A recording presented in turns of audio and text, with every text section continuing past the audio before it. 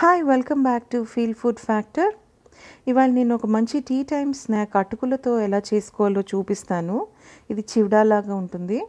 దీనికి నేను జొన్న అటుకులు తీసుకున్నాను. ఒకవేళ మీ దగ్గర జొన్న అటుకులు లేకపోతే రెగ్యులర్ అటుకులు కూడా తీసుకోవచ్చు. పల్లీలు ఎండు కొబ్బరి స్లైసెస్ పుట్నాల పప్పు కరివేపాకు ఇంగువ ఉప్పు కారం ఇంకా ఆయిల్ నేనైతే ఆలివ్ ఆయిల్ వాడుతున్నాను. అదర్వైజ్ మీరు ఎనీ ఆయిల్ వాడుకోవచ్చు దీనికి. డీప్ ఫ్రై చేయము ఒక టూ టేబుల్ స్పూన్స్ ఆయిల్ అయితే సరిపోతుంది. సో చక్కగా ఆయిల్ వేసుకుని పల్లీలు కొంచెం త్వరగా వేయించుకోవాలి. ఒక వన్ ఆర్ టూ మినిట్స్ పల్లీలు మంచి బ్రౌన్ కలర్ వచ్చాయి అనగానే దాంట్లో పుట్నాల పప్పు కూడా వేసేసుకోవాలి. పుట్నాల పప్పు కూడా వేగితే చాలా క్రిస్పీగా క్రంచీగా తయారవుతుంది అండ్ నోటికి తగులుతూ చాలా టేస్టీగా ఉంటుంది.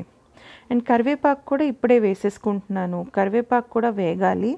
అది కూడా క్రిస్పీ అయ్యేదాకా వేగాలి. ఎందుకంటే ఇది మనం స్టోర్ చేసుకునే స్నాక్ కాబట్టి మళ్ళీ కరివేపాకు వేగకపోతే పాడైపోతుంది. ఈ కరివేపాకు కూడా క్రంచీగా అయిపోయిన తర్వాత ఎండు కొబ్బరి ముక్కలు వేసుకొని వేయించుకోవాలి. ఇప్పుడు మనం గుర్తుపెట్టుకోవాల్సింది ఏంటి అంటే ఎండు కొబ్బరికి వేసుకున్న తర్వాత అది కలుపుతూనే ఉండాలి. నాకైతే ఒక థర్టీ సెకండ్స్ పట్టింది ఇది ఫ్రై అవ్వడానికి. ఎందుకంటే ఎండు కొబ్బరి చాలా తొందరగా మాడిపోయే ఛాన్సెస్ ఉంటాయి. కాబట్టి మర్చిపోకుండా లో ఫ్లేమ్లోనే పెట్టుకొని చక్కగా ఫ్రై చేసుకోండి. అండ్ ఇది చాలా హెల్దీ స్నాక్. దీంట్లోని బ్యాలెన్స్డ్గా ఫ్యాట్స్ కార్బోహైడ్రేట్స్ ప్రోటీన్స్ అన్నీ ఉన్నాయి దీంట్లో. కాబట్టి మంచి టీ టైం స్నాక్ అండ్ రాత్రి డిన్నర్ టైం వరకు మిమ్మల్ని మళ్ళీ ఎనర్జెటిక్గా ఉంచడానికి ఇది బాగా హెల్ప్ అవుతుంది. అండ్లో క్యాలరీ కూడా. సో చూసారా ఎండు కొబ్బరి ముక్కలు కూడా చక్కగా వేగిపోయాయి. వేగిపోయిన తర్వాత దీంట్లో నేను మధ్యలో గ్యాప్ చేసుకొని ఇంగువ ఇంకా కారం వేసుకొని ఒక ఫ్యూ సెకండ్స్ వేయించుకుంటాను. ఒక ఫ్యూ సెకండ్స్ వేయించుకోవడం వల్ల ఏంటంటే దానిలో నుంచి మంచి వాసన ఆ నూనెలో వేగిన వాసన వస్తుంది. అది వేగిపోయిన తర్వాత నల్లబడక ముందే అటుకులు వేసేసుకొని స్టవ్ ఆపేసుకోవాలి. స్టవ్ ఆపుకొని ఈ ప్యాన్ని ఇంకా స్టవ్ మీద అసలు ఉంచకూడదు. వెంటనే పక్కకు పెట్టేసుకోవాలి. నేనైతే ఒక క్లాత్ మీద పెట్టుకున్నాను. ఎందుకంటే ఆ ప్యాన్కు ఉన్న వేడికి ఎండు కొబ్బరి మాడిపోయే ఛాన్సెస్ ఉంటాయి.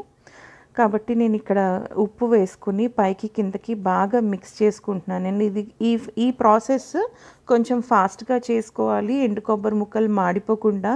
లేదు అంటే మీరు ఇంకొక బౌల్లోకి తీసుకొనైనా కలుపుకోవచ్చు. సో ఇప్పుడు స్నాక్ అయితే రెడీ అయిపోయిందండి. ఆ బౌల్లోని వేసేసుకొని చక్కగా టీతో పాటు సర్వ్ చేసుకుంటున్నాను నేను ఇది. సో ఇది పిల్లలకి కూడా చాలా ఇష్టంగా తింటారు. ఎందుకంటే అన్నీ కూడా దీనిలో చాలా క్రంచీ క్రంచీగా ఉంటాయి. సో మా అబ్బాయికి చాలా ఇష్టం ఇట్లాంటి కర్కర్లాడుతూ ఉండేవి తినడం అంటే వాడికి ఇష్టం. కాబట్టి మీరు కూడా డెఫినెట్గా ఈ రెసిపీని ట్రై చేయండి. ఇది ఎనీ టీతో పాటు బాగుంటుందండి. మీరు మిల్క్ వేసుకున్న టీ అవ్వచ్చు గ్రీన్ టీ అవ్వచ్చు ఎనీ టీతో కూడా చాలా బాగుంటుంది. అండ్ చూడండి అసలు ముక్క విరిగితే టక్కని విరిగిపోయింది. మీరు ఈ రెసిపీ ట్రై చేసి మీకు ఎలా నచ్చిందని నాకు కమెంట్స్లో చెప్పండి. Like share and subscribe to Feel Food Factor. Have fun.